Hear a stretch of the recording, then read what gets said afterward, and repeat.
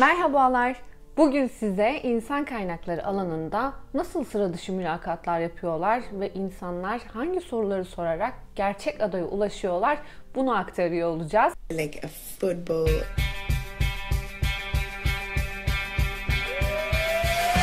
When you are looking for a job for an interview, either brushed. You look good, you feel good.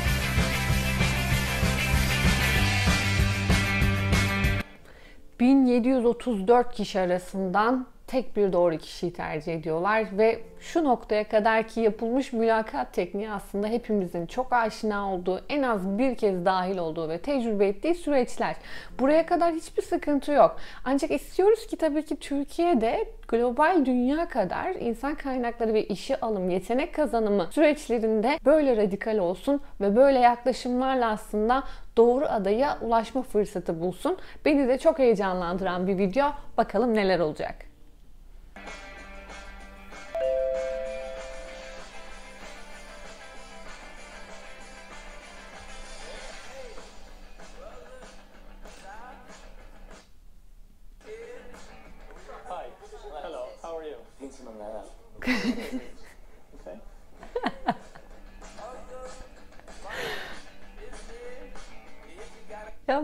muhteşem, muhteşem bir yaklaşım. Yani hani düşünün ki insan kaynakları mülakatına gidiyorsunuz ve sizi götüren asistan sizin elinizi tutuyor ve görüşme yapacağınız yönetici sizi karşılıyor. Sonrasında elinizi tutarak sizi odaya sanki bir şampiyonmuşsunuz gibi elinizde kaldırarak oturtturuyor.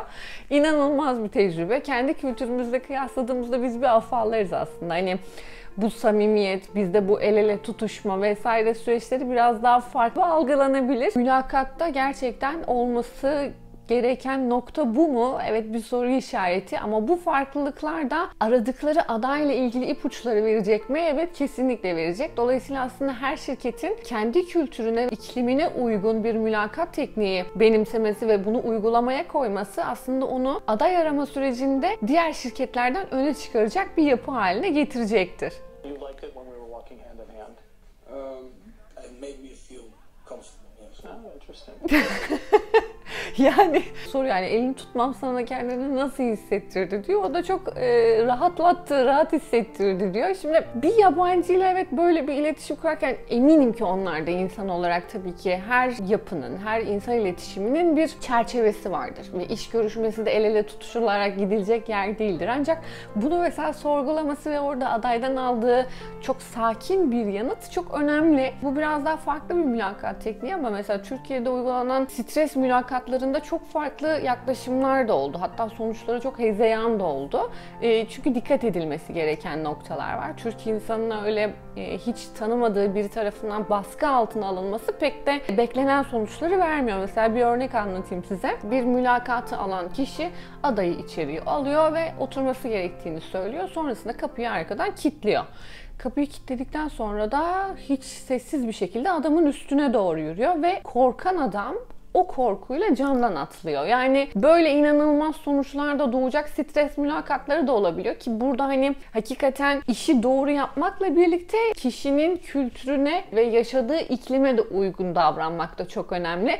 Belki bu yaklaşım el ele tutuşma bizim için böyle biraz farklı olabilir ama kendimize uyarlayacağımız yapılarda mutlaka vardır ve muhakkak da olmalıdır.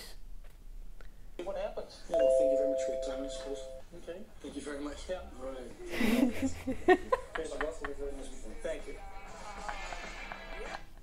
Vedalaşırken yine aynı şekilde elini tutuyor. Sonrasında o elini bırakmadan asistanı tekrar elini tutuyor ve hızlı bir şekilde odadan çıkıyorlar ama yine el ele çıkıyor. Böyle mülakat teknikleri özellikle bu sıra dışı olan ve gerçekten e, bu sıradan süreçlerin dışına çıkan yapılar her zaman oldukça etkilemiştir. Bakalım sonucunda nelerle karşılaşacağız.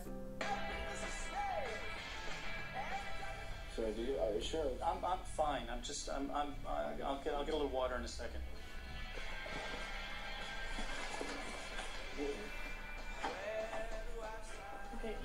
Kapıyı da arkadan kapatıyorlar. Hiçbir şekilde açamıyorlar ve çocuklar şu anda acil yardım etmeye çalışıyorlar. Adam yatıyor yerde. Ya düşünün biriyle mülakat alıyorsunuz ve yerde yatarken parayı ne düşünüyorsun falan diye. E çocuk ne cevap versin burada? Çünkü bir taraftan hakikaten bunların hepsi bir kurgu mu diye düşünen bir zihnimiz var. Diğer taraftan da hani gerçekten böyle de olabilir mi? Bunlar hani birazcık garip karşılayabileceğimiz kişiler ama böyle de olabilir mi? Gerçek mi diye de sorgulama var. Sonuçta kariyerini düşünen bir adayla karşı karşıyalar. Her durumda ne istenirse yapmaya çalışan kişiler var. Ya ne düşünüyor yani kız. Last time this happened was at a disco. The disco day? Fire and passion or cold and calculated? Uh, I would say cold and calculated because Wrong answer. fire and passion. Other people get infected by my enthusiasm. You think I'm getting infected right now?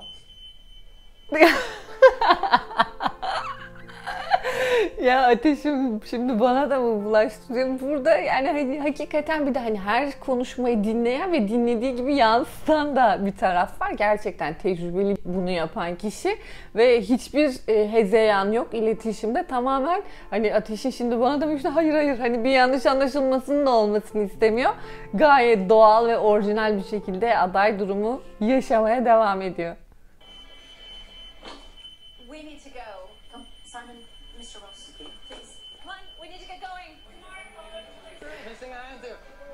Please? Can you help us, please? We have, we have a gap here. Sir.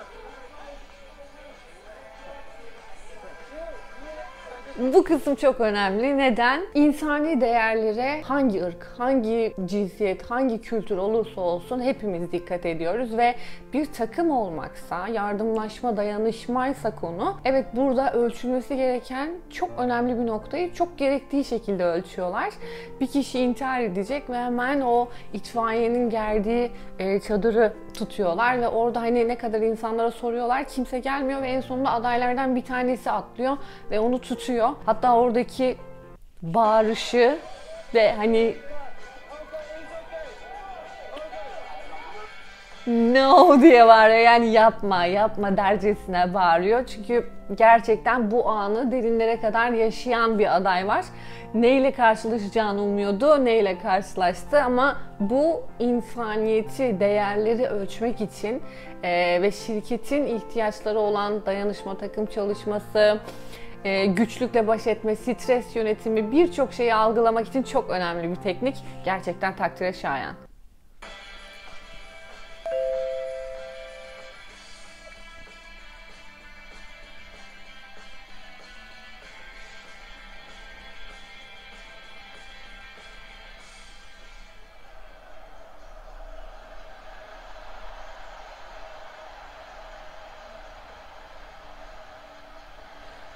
Üç kişi de oylanması için aslında halka sunuldu. En iyi mülakatı geçen üç kişi seçildi ve sonrasında olimpiyat stadına götürüldü ve burada artık son bir aşamaya gelecekler. Bu da yine o yardımda bulunan çocuk yine tutuyor. Tıpkı oradaki gibi.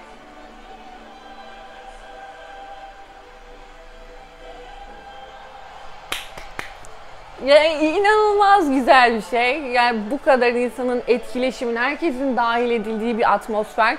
Bu kadar ütopik mi olur? Bu kadar ütopik olmaz belki ama buradaki önemli nokta şu. Almak istedikleri her şeyi aldılar. Sordukları birkaç genel sorularla başlattılar ama oldukça sıra dışı yöntemlerle mülakatı sürdürdüler ve günün sonunda o şirket kendi kültürüne uygun kişiyi doğru pozisyona yerleştirdi mi yerleştirdi. Denenebilir mi? Kesinlikle denenebilir. İhtiyacımız var mı? Evet var. Bu yöntemlerden, bu yollardan geçmiş kişinin o şirkete olan bağlılığı, arzusu, istekliliği ve gerçekten sıra dışı bir şirkette çalıştığına olan inancı her zaman onu şirkete daha da bağlayıcı olacaktır. Tipik, klasik İK mülakatlarıyla ilgili çok fazla konuşan yöneticilerimiz, bilir kişilerimiz illaki var. Hatta onlardan alacaklarımız da var. Ama her zaman amacımız birazcık daha farklı, birazcık daha marjinal, biraz daha sıra dışı olarak kendi kültürümüze, şirket kültürümüze bir yenisini katmak ve o kattığımız katma değerle birlikte de yeni aldığımız kişilerle değer yaratmak amacımız olmalı. Bu izlediğimiz video benim için çok önemli bir örnek ve kesinlikle mülakatların bu şekilde evrilmesi gerektiğine de inanıyorum.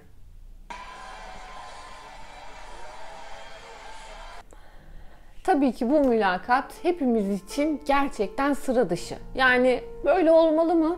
Kiminiz diyebilir ki hayır bu çok fazla, ben bunları yönetemem. Ama aslında o yönetemem dediğiniz günlük iş hayatında bir şekilde karşınıza çıkan ve yönetmeniz gereken süreçler oluyor. Umarım izlerken keyif almışsınızdır. Ben onları izlerken çok keyif aldım. Yorumlara yaşadığınız o mülakat tecrübelerini de paylaşmanızı bekliyor olacağım. Hepimiz için farklı tecrübeler ışık olacaktır. Beni izlediğiniz için çok teşekkür ederim. Kanalıma abone olup videolarımı beğenmeyi, beğendiğiniz videolarımı da sevdiklerinizle paylaşmayı, soru ve yorumlarınızı da bana iletmeyi lütfen unutmayın. Vakit ayırdığınız için çok teşekkür ederim. Görüşmek üzere.